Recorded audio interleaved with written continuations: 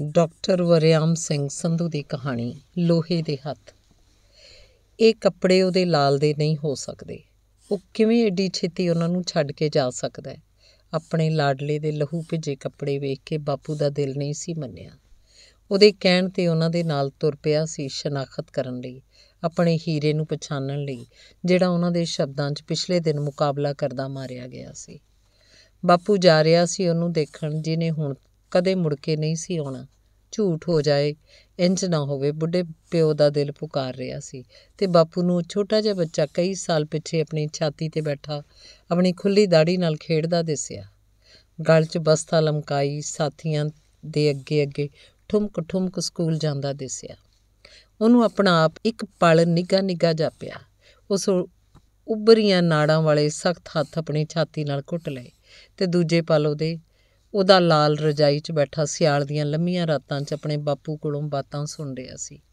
ਉਸ ਬਾਪੂ ਕੋਲੋਂ, ਜਿਹਨੂੰ ਸਿੱਖੀ ਨਾਲ ਪਿਆਰ ਸੀ, ਧਰਤੀ ਤੇ ਉਹਦੇ ਜੀਆਂ ਨਾਲ ਮੋਹ ਸੀ, ਸੱਚ ਦੀਆਂ ਬਾਤਾਂ, ਸੱਜਣ ਠੱਗ ਦੇ ਚਿੱਟੇ ਕੱਪੜਿਆਂ ਵਿਚਲੀ ਕਾਲਖ ਭਾਗੋ ਦੀਆਂ ਪੂਰੀਆਂ 'ਚੋਂ ਚੌਂਦਾ ਲਹੂ, ਸਰਹੰਦ ਦੀਆਂ ਕੰਧਾਂ, ਜਿੱਥੇ ਦੋ ਨਿੱਕੇ ਲਾਲਾਂ ਨੇ ਆਪਣਾ ਆਪ ਚਿਣਵਾ ਕੇ ਜ਼ੁਲਮ ਦੀਆਂ ਕੰਧਾਂ ਨੂੰ ਢਾਹ ਲਾਈ ਸੀ ਤੇ ਚਮਕੌਰ ਦੀ ਧਰਤੀ ਤੇ ਡੁੱਲਿਆ ਸੁਰਖ ਖੂਨ। ਸਰਹੰਦ ਦੀ ਇੱਟ ਨਾਲ ਇੱਟ ਖੜਕਦੀ, ਸਿਰਾਂ ਦੇ ਮੁੱਲ ਪੈਂਦੇ। ਮੀਰ ਮੰਨੂ ਦੇ ਜ਼ੁਲਮ ਦੀ ਮੂੰਹ ਬੋਲਦੀ ਤਸਵੀਰ। ਤੇ ਇਸ ਤੋਂ ਅੱਗੇ ਤੁਰ ਕੇ ਜਲਿਆਂ ਵਾਲੇ ਬਾਗ 'ਚ ਚੱਲਦੀ ਗੋਲੀ ਤੇ ਫਾਂਸੀ ਤੇ ਲਟਕਦਾ ਭਗਤ ਸਿੰਘ ਜ਼ਾਲਮ ਮਜ਼ਲੂਮ ਦੀ ਇੱਕ ਲੰਮੀ ਕਹਾਣੀ। ਤੇ ਇਹ ਕਹਾਣੀ ਸੁਣਦਾ ਸੁਣਦਾ ਉਹਦਾ ਲਾਲ ਉਹਦੀਆਂ ਅੱਖਾਂ ਅੱਗੇ ਵੱਡਾ ਹੋ ਗਿਆ। ਉਹਨੇ ਉਹਦੇ ਕੱਦ ਨੂੰ ਵੇਖ ਕੇ ਸਰੂਆਂ ਨੂੰ ਸ਼ਰਮ ਆਉਂਦੀ। ਉਹਦੇ ਚੌੜੇ ਮੱਥੇ 'ਚ ਸੂਰਜ ਡਲਕਦਾ। ਖੇਡ ਦੇ ਮੈਦਾਨ ਦਾ ਹੀਰੋ। ਕਬੱਡੀ ਤੇ ਵਾਲੀਬਾਲ ਦੀਆਂ ਟੀਮਾਂ ਦਾ ਕਪਤਾਨ। ਸਕੂਲ ਵਿੱਚ ਵੀ ਤੇ ਕਾਲਜ ਵਿੱਚ ਵੀ। ਜਿੱਥੇ ਉਹ ਹੁਣ ਬੀਏ ਦੇ ਆਖਰੀ ਸਾਲ 'ਚ ਪੜ ਰਿਹਾ ਸੀ, ਸਾਥੀ ਵੇਖਦੇ ਰਹਿ ਜਾਂਦੇ, ਉਹ ਕਬੱਡੀ ਪਾ ਕੇ ਉਹ ਦਾ ਉਹ ਨਿਕਲ ਜਾਂਦਾ। ਵਾਲੀਬਾਲ ਨੂੰ ਨੈੱਟ ਦੇ ਉੱਤੋਂ ਦੀ ਬੁੜਕ ਕੇ ਜਦ ਧੱਪਾ ਮਾਰਦਾ, ਧਰਤੀ ਕੰਬ ਉੱਠਦੀ ਜਾਂਦੀ ਬਾਲ ਪਾਟ ਗਿਆ ਜਦ ਲੱਗਦਾ ਲੋੜੇ ਦੀ ਜਵਾਨੀ, ਅੰਤਾਂ ਦੀ ਤਾਕਤ ਤੇ ਖੂਬਸੂਰਤੀ। ਉਹਦੇ ਸਾਥੀ, ਉਹਦੇ ਅਧਿਆਪਕ, ਉਹਦੀਆਂ ਯੋਗਤਾਵਾਂ ਦੇ ਸ਼ਦਾਈ ਉਹਦੀ ਸੂਝ ਦੇ ਕਾਇਲ, ਪਰ ਉਹਦੇ ਬਾਪੂ ਦੀਆਂ ਬਾਤਾਂ ਅਜੇ ਵੀ ਉਹਦੇ ਨਾਲ ਸਨ। ਉਹਨਾਂ ਬਾਤਾਂ 'ਚ ਉਹਨੇ ਆਪਣੇ ਅੱਜ ਨੂੰ ਵੇਖਿਆ ਤੇ ਉਹ ਅੱਜ ਉਹਨੂੰ ਸਦੀਆਂ ਪਿੱਛੇ ਉੱਥੇ ਹੀ ਖਲੋਤਾ ਦਿਸਿਆ, ਜਿੱਥੋਂ ਉਹਦਾ ਬਾਪੂ ਆਪਣੀ ਬਾਤ ਸ਼ੁਰੂ ਕਰਦਾ ਸੀ।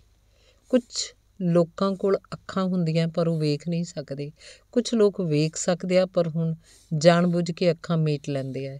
ਤੇ ਨਾ ਵੇਖਣ ਦਾ ਬਹਾਨਾ ਕਰਦੇ ਆ ਪਰ ਉਹਦੇ ਕੋਲ ਅੱਖਾਂ ਸਨ ਤੇ ਉਹਨੇ ਵੇਖਣਾ ਵੀ ਚਾਹਿਆ ਸੀ ਤੇ ਉਸ ਵੇਖਿਆ, ਅਜੇ ਤਾਂ ਉਂਝੀ ਬਾਬਰ ਦੀ ਚੱਕੀ ਕਿਸੇ ਨਾਨਕ ਨੂੰ ਪੀਣੀ ਪੈ ਰਹੀ ਸੀ। ਲਾਲੋ ਦੇ ਚਿਹਰੇ ਦਾ ਰੰਗ ਤਾਂ ਅਜੇ ਵੀ ਪੀਲਾ ਸੀ ਤੇ ਉਹਦਾ ਚੋਰੀ ਹੋਇਆ ਖੂਨ ਮੁਲਕ, ਮਲਕ ਭਾਗੋ ਦੇ ਮੂੰਹ ਤੇ ਚਮਕ ਰਿਹਾ ਸੀ। ਮੀਰ ਮੰਨੂ ਅਜੇ ਵੀ ਦਾੜੀਆਂ ਉੱਲੇ ਆਪਣਾ ਆਪ ਲੁਕਾਈ ਬੈਠਾ ਸੀ ਤੇ ਸਿੱਖਾਂ ਦੇ ਸਿਰਾਂ ਦਾ ਮੁੱਲ ਪਾ ਰਿਹਾ ਸੀ।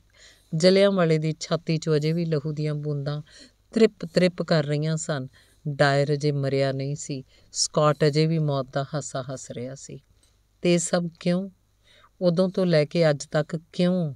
ਇਹ ਅੱਜ ਭਲਕ 'ਚ ਕਦੋਂ ਬਦਲੇਗਾ? ਤੇ ਉਹਨੇ ਅੱਖਾਂ ਖੋਲ ਕੇ ਮੀਲ ਪੱਥਰ ਵਾਂਗ ਗੱਡੇ ਅੱਜ ਵੱਲ ਉਂਗਲ ਸਿੱਧੀ ਕਰ ਦਿੱਤੀ, ਆਪਣੇ ਤੇ ਆਪਣੇ ਸਾਥੀਆਂ ਦੀ। ਤੇ ਇਸ ਅੱਜ ਦੇ ਰਖਵਾਲੇ ਉਸ ਮਗਰ ਫਿਰਨ ਲੱਗ ਪਏ। ਫਿਰ ਉਸ ਤੇ ਕਿਸੇ ਝੂਠ ਦੇ ਕਤਲ ਦਾ ਕੇ, ਦੋਸ਼ ਲਾਇਆ ਗਿਆ। ਤੇ ਉਹ ਕਾਲਜੋਂ ਭੱਜ ਕੇ ਪਿਛਲੇ ਦਿਨਾਂ ਤੋਂ ਇਹਨਾਂ ਰਖਵਾਲਿਆਂ ਤੋਂ ਓਹਲੇ ਹੋ ਕੇ ਖਲੋਤੇ ਅੱਜ ਦਾ ਭੇਦ ਖੋਲਣਾ ਚਾਹੁੰਦਾ ਸੀ।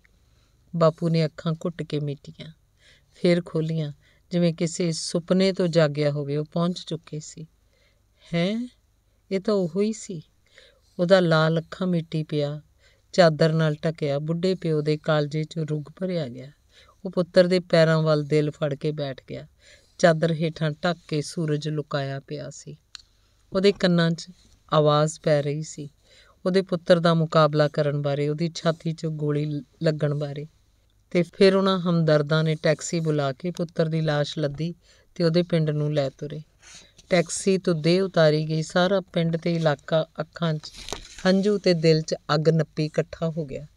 ਮਰਨ ਵਾਲੇ ਦੇ ਕਾਲਜ 'ਚ ਪਤਾ ਲੱਗਾ ਕਿ ਉਹਨਾਂ ਦਾ ਅਲਬੇਲਾ ਸਾਥੀ ਖੇਡ ਦੇ ਮੈਦਾਨ ਦਾ ਮਰਦ ਅੱਜ ਜ਼ਿੰਦਗੀ ਦੀ ਆਖਰੀ ਖੇਡ ਖੇਡ ਗਿਆ ਸੀ। ਉਹਦੇ ਅਧਿਆਪਕ, ਉਹਦੇ ਸਾਥੀ ਰੋਹ ਤੇ ਦਰਦ 'ਚ ਭਰੇ ਪਹੁੰਚ ਗਏ ਸੀ। ਉਹ ਮੁਕਾਬਲੇ ਦੀ ਕਹਾਣੀ ਚੰਗੀ ਤਰ੍ਹਾਂ ਸਮਝਦੇ ਸਨ। ਉਹਨਾਂ ਆਪਣੇ ਪਿਆਰੇ ਵੀਰੇ ਦੇ ਅੰਤਮ ਦਰਸ਼ਨ ਕਰਨੇ ਚਾਹੇ। ਸੂਰਜ ਦੇ ਮੂੰਹ ਤੋਂ ਚਾਦਰ ਉਤਾਰੀ ਗਈ, ਸਭ ਦੀਆਂ ਅੱਖਾਂ 'ਚ ਹੰਝੂ ਚਮਕ ਰਹੇ ਸਨ। ਹਾਹਾਕਾਰ ਮਚੀ ਪਈ ਸੀ। ਉਹਨਾਂ ਵੇਖਿਆ ਉਹਨਾਂ ਦੇ ਵੀਰ ਦੇ ਹੱਥਾਂ ਤੇ ਪੱਟੀਆਂ ਲਪੇਟੀਆਂ ਹੋਈਆਂ ਸਨ। ਉਹਨਾਂ ਜ਼ਿੱਦ ਕੀਤੀ ਅਸੀਂ ਇਹਦੇ ਹੱਥਾਂ ਤੋਂ ਪੱਟੀਆਂ ਉਤਰਵਾ ਕੇ ਹੱਥ ਵੇਖਣੇ ਚਾਹਾਂਗੇ। ਰਾਖਿਆ ਨੇ ਭੀੜ ਦੀਆਂ ਗੱਲਾਂ ਦਾ ਰੋਹ ਵੇਖਿਆ। ਉਹਦੇ ਹੱਥਾਂ ਤੋਂ ਪੱਟੀਆਂ ਉਤਾਰ ਦਿੱਤੀਆਂ ਗਈਆਂ। ਇਹ ਕੀ? ਸਾਰਿਆਂ ਦੇ ਚਿਹਰੇ ਪ੍ਰਸ਼ਨ ਚਿੰਨ ਬਣ ਗਏ। ਇਹਦੇ ਹੱਥਾਂ ਦੇ ਨਿਸ਼ਾਨ ਲਏ ਗਏ ਸਨ, ਜਿਸ ਤੋਂ ਪਤਾ ਲੱਗ ਸਕੇ ਕਿ ਇਹਨੇ ਕਿਹੜੇ-ਕਿਹੜੇ ਕਤਲ ਕੀਤੇ ਸਨ ਤੇ ਉਹ ਸਿਆਹੀ ਨਾਲ ਹੱਥਾਂ ਦਾ ਮਾਸ ਉੱਧੜ ਗਿਆ। ਪਰ ਉਹ ਹੱਥ ਬੋਲਦੇ ਪਏ ਸਨ। ਸਾਨੂੰ ਮੁਕਾਬਲੇ ਤੋਂ ਪਹਿਲਾਂ ਇੱਕ ਰੇਲਵੇ ਸਟੇਸ਼ਨ ਤੋਂ ਫੜ ਕੇ ਹੱਥਕੜੀ ਲਾਈ ਗਈ ਸੀ। ਫਿਰ ਪੁੱਛ ਪੜਤਾਲ ਦਾ ਕੇਂਦਰ ਇੱਕ ਉਜਾੜ ਬਣ ਗਈ। ਹੱਥਾਂ ਦੀਆਂ ਤਲੀਆਂ ਵਿਚਲੇ ਲਹੂ ਰੰਗੇ ਡੂੰਘੇ ਨਿਸ਼ਾਨ ਚੀਕ ਰਹੇ ਸਨ। ਇਸ ਈਸਾ ਨੂੰ ਆਪਣੇ ਈਮਾਨ ਤੋਂ ਡੁਲਾਉਣ ਲਈ ਇਹਦੀਆਂ ਤਲੀਆਂ ਵਿੱਚ ਕਿੱਲ ਠੋਕੇ ਗਏ। ਪਰ ਉਹ ਤਾਂ ਸਭ ਸੂਲੀਆਂ ਨਾਲ ਸਮਝੌਤਾ ਕਰੀ ਬੈਠਾ ਸੀ ਤੇ ਜੋ ਸੂਲੀਆਂ ਨਾਲ ਸਮਝੌਤਾ ਕਰ ਲਏ, ਉਹ ਜ਼ਿੰਦਗੀ 'ਚ ਕਦੇ ਸਮਝੌਤਾ ਨਹੀਂ ਕਰਦਾ। ਉਹਦੀਆਂ ਉਂਗਲਾਂ ਤੇ ਕੋਈ ਸਾਬਤ ਨੌ ਨਹੀਂ ਸੀ ਤੇ ਉਹਦੀਆਂ ਉਂਗਲੀਆਂ ਕਹਿ ਰਹੀਆਂ ਸਨ ਜਦ ਇਹ ਮਨੀ ਸਿੰਘ ਆਪਣੇ ਆਦਰਸ਼ ਤੋਂ ਨਾ ਡੁੱਲਿਆ ਤੇ ਇਹਦਾ ਕੱਲਾ ਕੱਲਾ ਨਹੁੰ ਜੰਬੂਰਾ ਨਾਲ ਖਿੱਚ ਖਿੱਚ ਕੇ ਲਾਇਆ ਗਿਆ ਤੇ ਫਿਰ ਛਾਤੀ ਉਤਲੇ ਸੁਰਖ ਲਹੂ ਦੇ ਨਿਸ਼ਾਨ ਬੋਲ ਉੱਠੇ। ਜਦ ਕੋਈ ਪੇਸ਼ ਨਾ ਗਈ ਤਾਂ ਬੜੀ ਬਹਾਦਰੀ ਨਾਲ ਉਹਦੀ ਛਾਤੀ 'ਚ ਗੋਲੀ ਮਾਰੀ ਗਈ ਤੇ ਫਿਰ ਇਹਨਾਂ ਜ਼ਖਮੀ ਹੱਥਾਂ 'ਚ ਰਿਵਾਲਵਰ ਪਕੜਾਇਆ ਗਿਆ ਤੇ ਮੁਕਾਬਲੇ ਦੀ ਖੂਬਸੂਰਤ ਕਹਾਣੀ ਪੂਰੀ ਹੋ ਗਈ। ਇਹ ਕਿੱਲਾਂ ਦੇ ਨਿਸ਼ਾਨ ਹਨ ਤਲੀਆਂ ਤੇ। ਇਹਦੇ ਨੌ ਕਿੱਥੇ ਹੈ? ਉਹਦੇ ਕਾਲਜ ਦੇ ਸਾਥੀ ਚੀਕ ਉੱਠੇ। ਇਹ ਜ਼ੁਲਮ ਹੋਇਆ ਹੈ, ਇਹ ਅਨਰਥ ਹੋਇਆ ਹੈ।